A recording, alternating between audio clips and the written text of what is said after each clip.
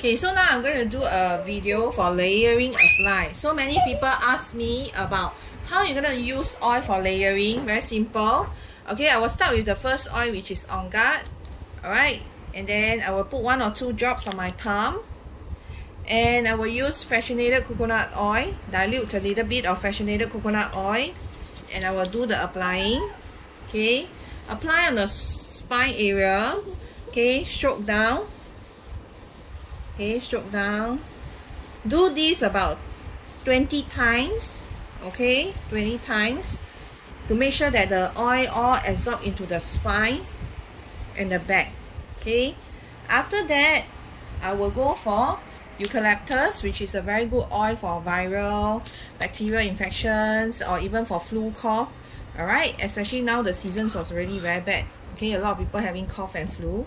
So I will use two drops on my palm and then I apply okay apply the back do this okay? If you find that it's oily it doesn't matter huh okay? Doesn't matter the body will absorb the oil. So stroke down 20 times okay 20 times and then go to the spine area okay do this okay just this to show you how I do. Okay. And then the next oil will be tea tree all right tea tree two drops also. All right dilute. Wrap okay the same.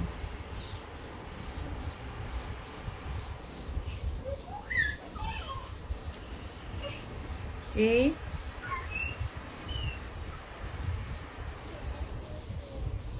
This is to help them to absorb the the the the oil at the same time.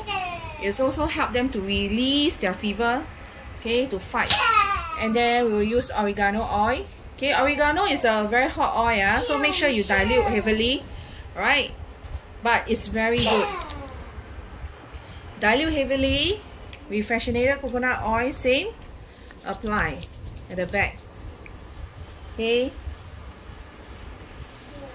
why apply on the spine and the back? Because our nervous system, our spine's area have all the nerves, okay, area that it will travel all over our body. So it's very important that we need to apply all these areas to help. Sometimes some mommy might just apply a bit and then you call this apply. No, actually applying should be this way when they are not well. Okay, layering apply will be very good. Then we will go for the next which is the Siberian fir okay? Good for phlegm good for muscle release or pain. So if let's say the kids are having fever but sometimes there's no symptom of cough or flu it might be because of uh, growing okay? So when they are growing right they will tend to have fever because of stretching their muscle.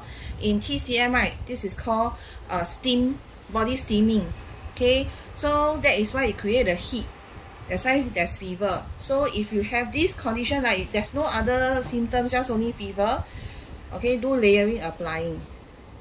This can help them with their muscle aches and pain at the same time for respiratory support. Okay? All right and then always remember when they are not well the last oil to apply okay do a peppermint. Peppermint oil drive the oil into the body okay so it's very important and it helps the body to absorb the oils better. So dilute same this time round apply the spine the armpit area okay?